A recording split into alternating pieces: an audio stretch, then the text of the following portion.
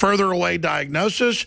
Because now people are seconding and thirding what you said. Or do you have intel that Obama is mentally ill? And if so, what is his mental problem? I, I'm not going to say he's mentally ill. He was born with sociopathy. He grew up with sociopathy.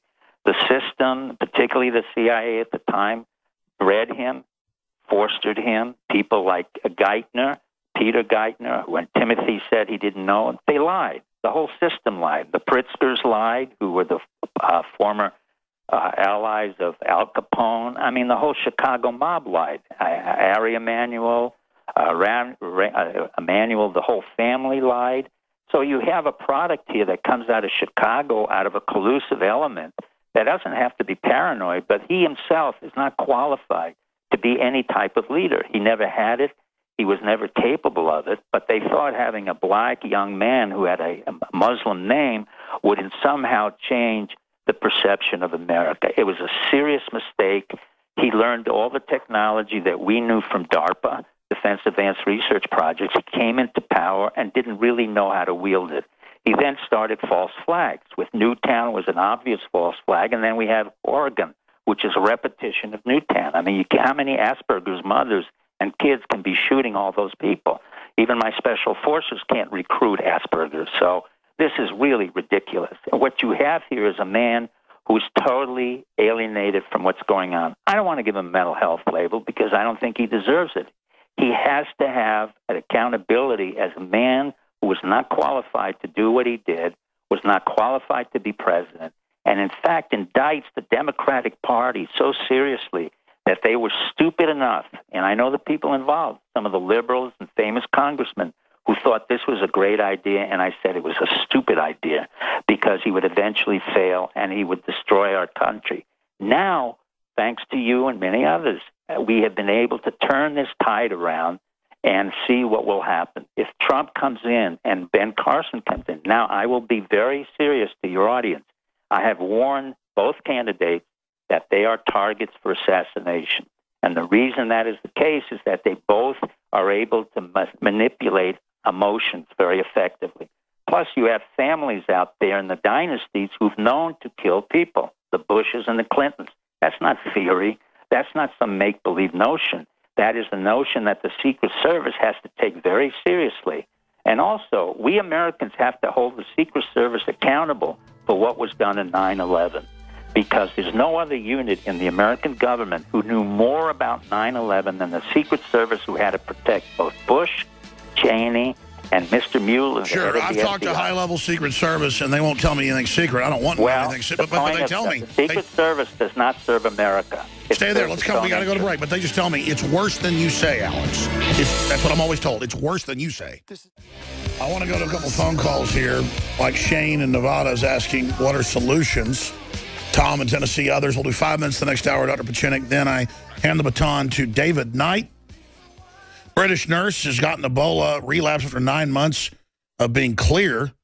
Uh, Bernie Sanders, 1985 interview, we're going to play part of it, endorsing Fidel Castro and socialism, gun confiscation, you name it, Hillary's calling for.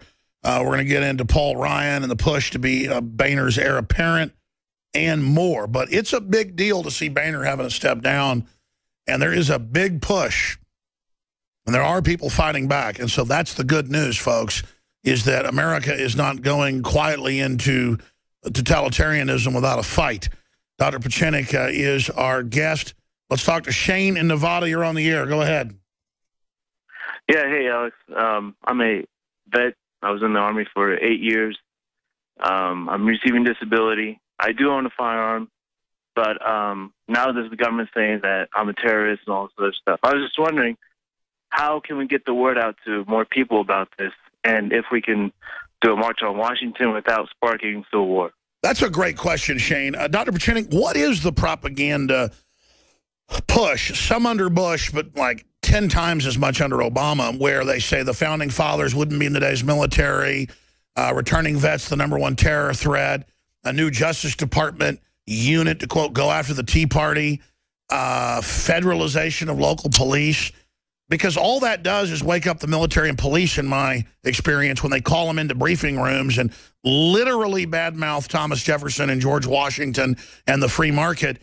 That's totally woken up the military is what I found. Are they that stupid? I mean, are they really that dumb? Because I never thought of myself as that smart, and I can look at that and tell that's how I'd wake the country up. Well, you hit it right on the head. What, what they are doing is something we call in the psychological warfare paradoxical intention. In other words, many of us, people like me, want them to do that in order to show how stupid they really are and incompetent. You have to remember that no one in that White House either served in the military or was in combat, like this good man who's on the phone. The answer is no, they will not take away your guns because they've been warned that if in fact they want to take the guns from anybody, and they've tried, God only knows how many absurd stand downs and false flags we've had, including Newtown and Oregon and other places which are unknown.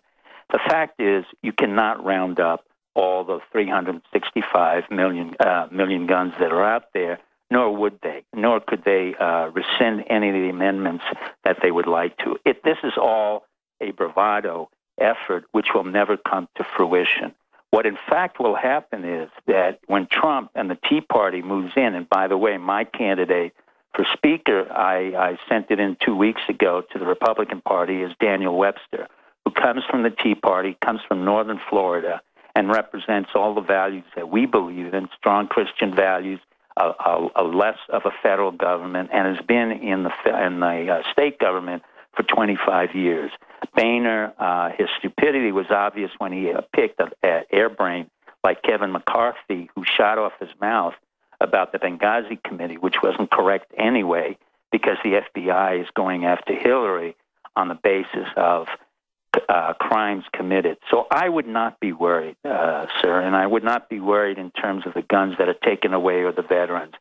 If, in fact, they want to touch the VA, they're going to have to do a lot more than they've done. Uh, unfortunately, they've never picked an individual who could run the Veteran Administration. This new man who came out of West Point never really was in combat, worked for Palmolive or whatever uh, uh, transnational corporation is not effective.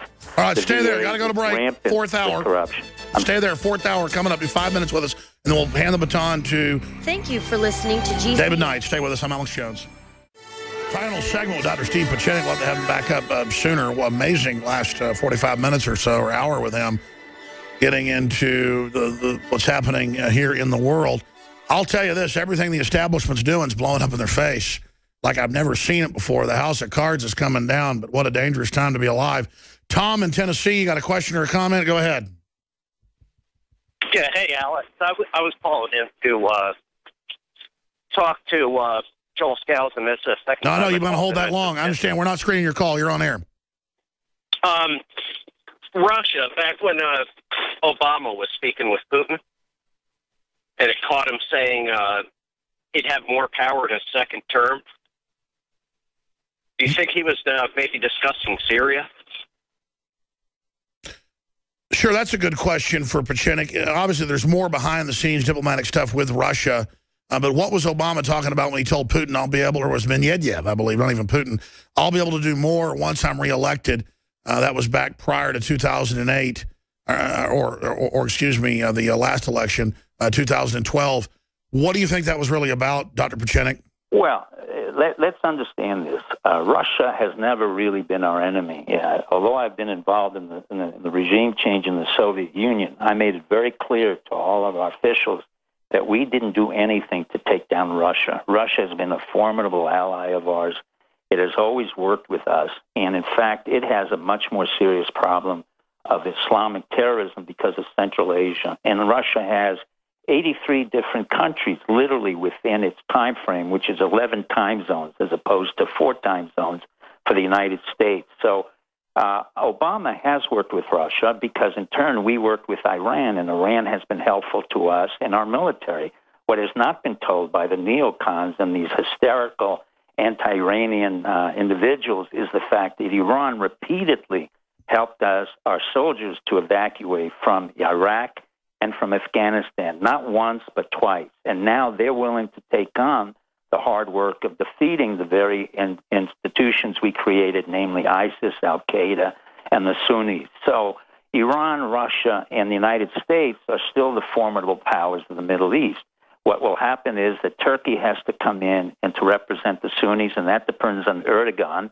If Erdogan works with us, that's fine. If he doesn't work with us, he will be uh, displaced and someone else will come in. But in fact, the Middle East has been reassigned. The United States was involved in it. It's a very conscious decision. It has nothing to do with communism or anything to do with anything else other than the fact we're neutralizing all the major Saudis and the extreme uh, Islamists. And that was planned for quite a time, and I was for it.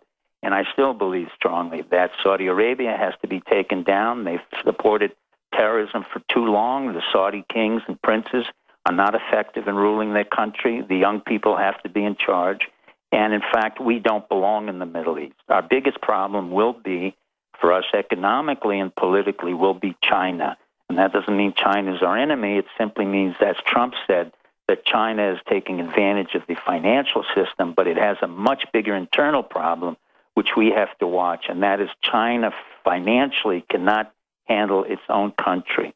It has 1.3 billion, and President Xi Jinping, who's still more of a communist than he is a capitalist, has no idea whatsoever of how to really run an economic unit, even within communism. So the devaluation of the currency and the fact that China is in deflationary mode is a far more serious problem for the world and for our national security than any other particular. Sure. I mean, economic forecast uh, just is, is a very, very uh, foggy, but at the same time, treacherous road we're on. Correct. St StevePieczenik.com. Uh, check out his latest book there that's nonfiction. Steve Pieczenik, thank you for joining us, Doc. It's a pleasure, Alex. Always a pleasure to have you on. Look, the fourth hour, the full fourth hour is coming up. Uh, Maya and others, if you want to hold, I'm sure David Knight will get to you somewhere in that time. If not, uh, I'll see you back tomorrow, 11 a.m. Central. Nightly News Tonight, 7.